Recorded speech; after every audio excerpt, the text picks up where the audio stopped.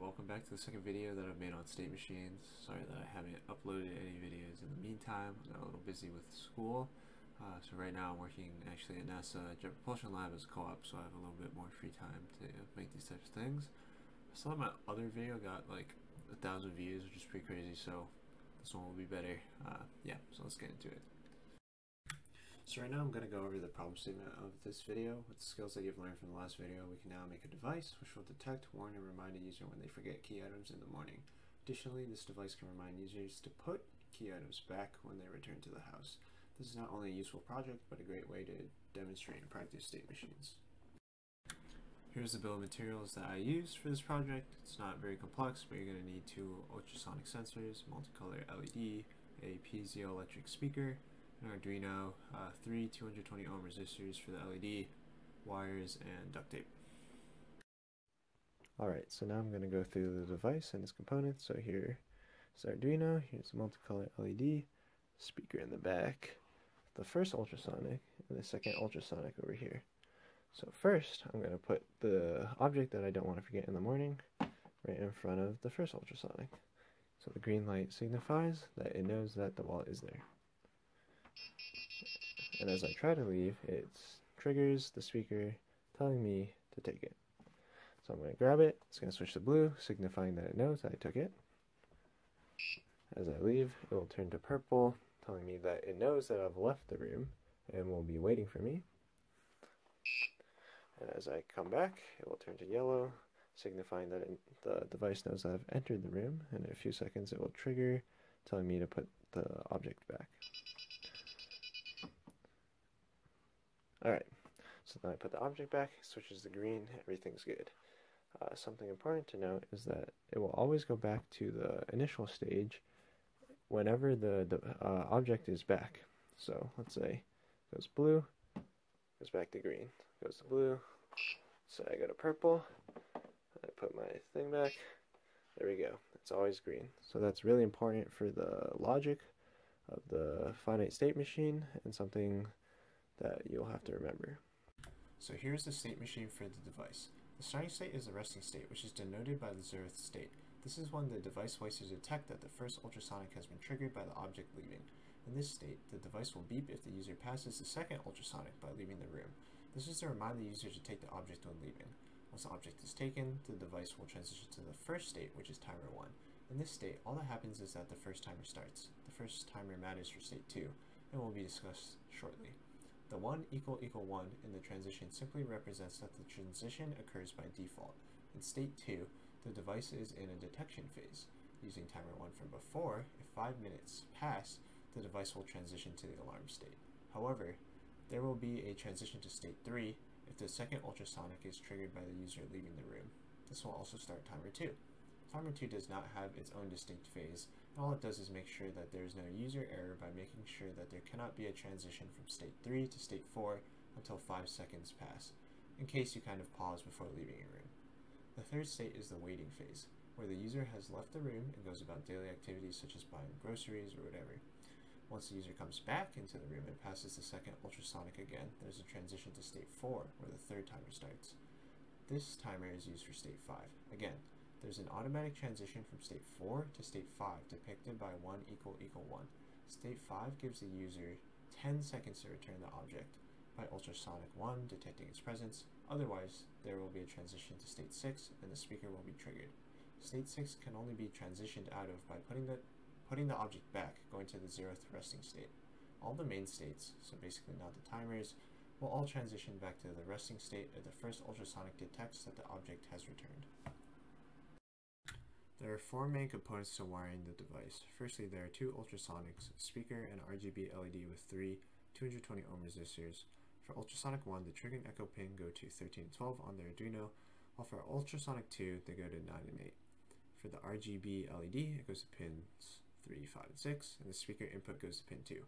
Keep in mind that ultrasonic 1 is what detects when your object is present, and ultrasonic 2 detects when you actually leave the room. So keep this in mind when you're actually setting up the device and make sure to appropriately place them. So now I'm going to briefly go over the code. So if you look at the beginning here, I'm mostly just setting up different pins for the LED and the ultrasonic sensor. Additionally, I'm just setting a bunch of constants for the various timers uh, and distance thresholds that the ultrasonic will keep track of. It's kind of shown here. And of course, uh, we have this variable right here, int state underscore FSM, which determines where you are in the state machine. So after that, there are three uh, main helper functions, and these kind of make the code a little more abstracted and more modular. So the first is record distance, or record dist. And what this does is it measures uh, distance that the ultrasonic can see um, of an object in front of it in centimeters. So if you don't really understand how this works, you can just kind of look it up really quick. But it's just something uh, that is there.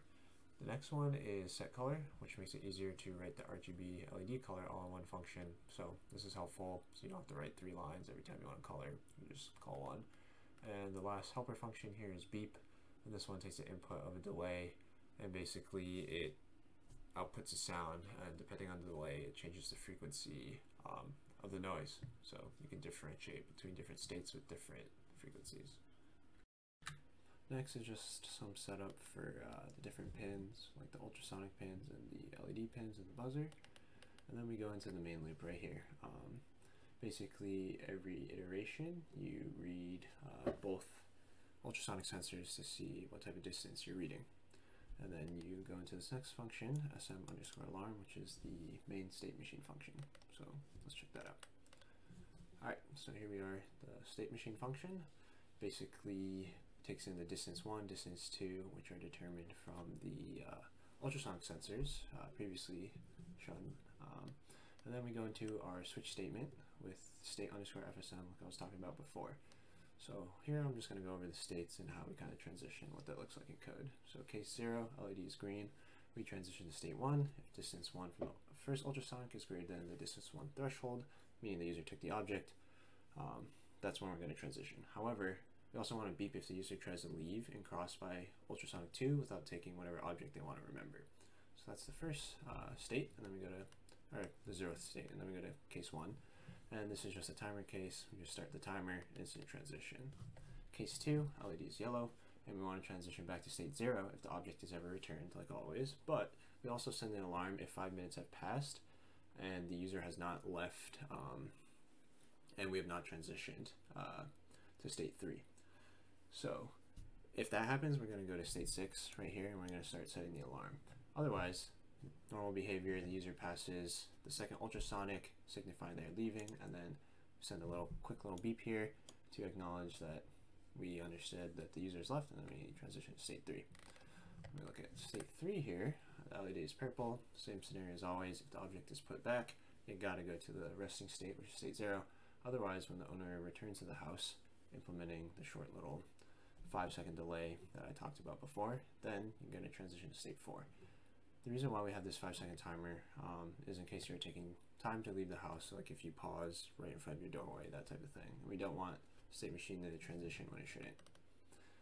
Okay, and then we go to case four. It's just a timer case. Just gonna go and instantly transition. Case five. Uh, right here, it outputs the orange color on the LED. And again, if you put the object back at any point everyone's happy, state will go back to zero and rest. Otherwise, if 10 seconds pass, it's going to transition into state 6 and start setting an alarm to alert the user to put the object back after. So this is kind of situation where you come home uh, from being outside and if you don't put it back within 10 seconds, it's going to start getting mad. So then case 6, uh, I set the color to red, signifying danger, or just angry. Um, basically, it's going to start beeping until you meet the threshold for distance one, meaning you put back the uh, the object to ultrasonic sensor number one. So hopefully that was a nice example of how you can use state machines to take complex situations and abstract them into distinct states that are easy to organize and manage. As always, thanks for watching, and I hope to make some more videos as I have more time while I'm working. I have a couple projects that I've finished over the past couple months, and I actually haven't made any videos, but these are related to IoT, my own 3DOF robot arm that I printed, and a haptic glove to rem control remote servos. So hopefully I'll start putting out these videos soon, and yeah, peace.